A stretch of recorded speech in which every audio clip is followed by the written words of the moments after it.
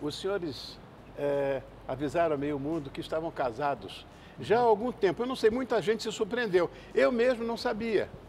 Eu não sei, nunca me falou que estava casado com ele. Falou que estava casado, mas que estava casado com, com o Vitor, não. E na verdade, Rony, nesse seu programa Companhia Certa, é a primeira vez para o planeta Terra que estamos juntos em um programa.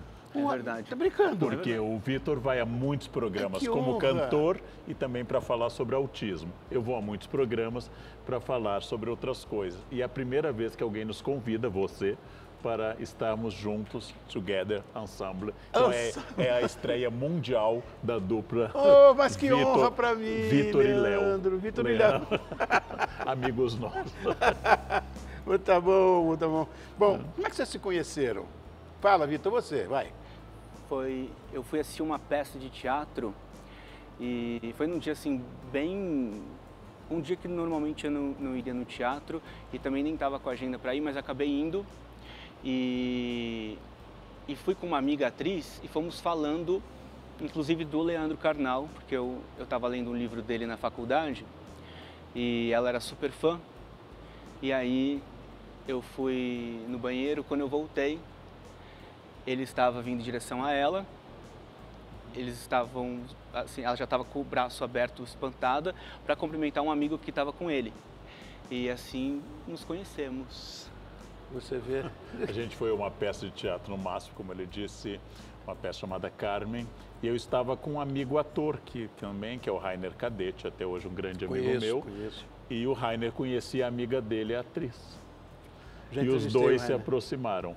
O Rainer insistiu para eu sair no meio da semana, eu tinha que acordar cedo.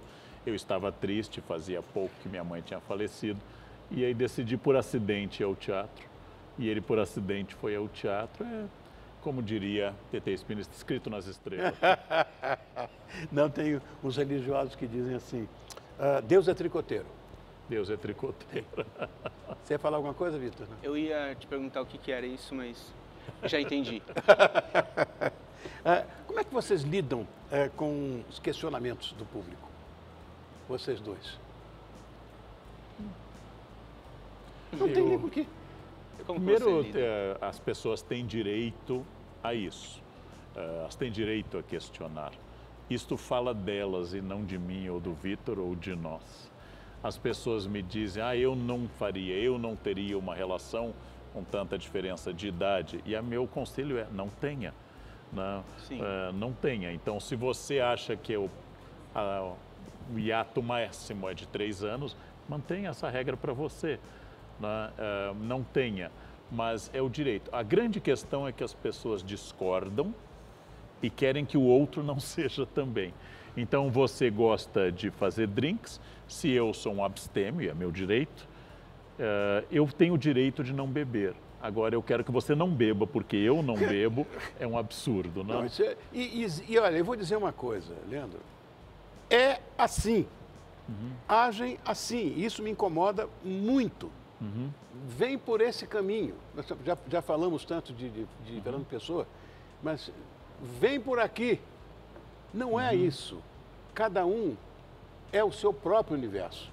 Eu quero que se dane essa história de, de cronologia. Exatamente. Imagina. Cada um tem a sua própria história, né? As- Vitor, as suas qual, qual é a próprias idade, qual- verdades. Qual, é a idade? Qual é a cronologia do amor? Você me explica. Socorro, não tem nada a ver Eu tenho, eu tenho duas regras que não são minhas.